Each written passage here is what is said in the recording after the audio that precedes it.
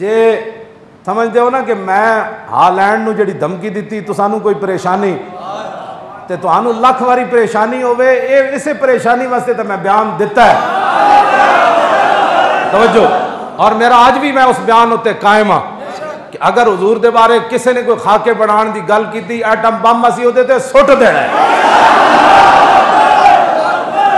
توجہ جیڑا گھوڑا اسلام واسطے رکھیا جائے اس گھوڑے دا موتر بھی تل جانا ہے۔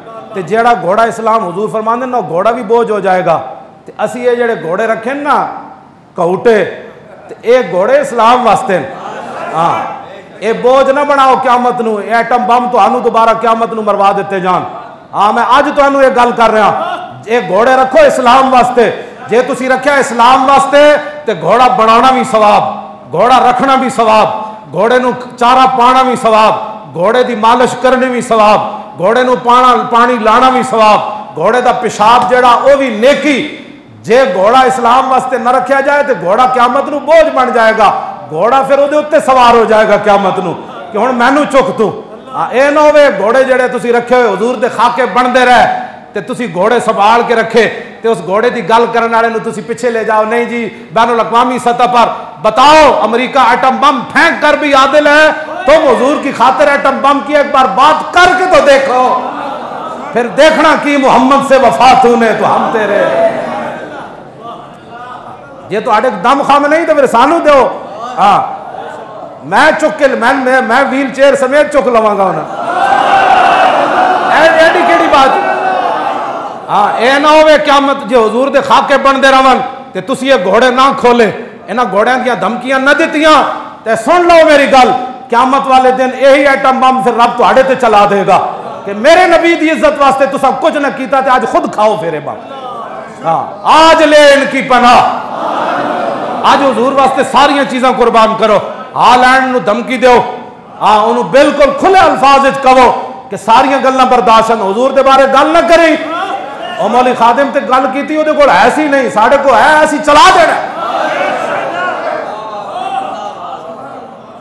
میں تواڈے نال گل حقیقت وچ کر رہا ہاں۔ اے نہ ہوے قیامت والے دن میزائل بھی رب العالمین تہاڈی طرف چلا دے اج اسلام واسطے واحد اللہ مستطاعتم من قوت ومن رباط الخیل ترہبون بی عدو اللہ۔ جب قرآن نے یہ کہا کہ ڈرانا ہے تم نے، کیوں جی؟ دھمکیاں دینی ہے تم۔ ترہبون دا کی مانا ہے؟ جیڑا مرضی مانا، ترہبون بی عدو اللہ و عدو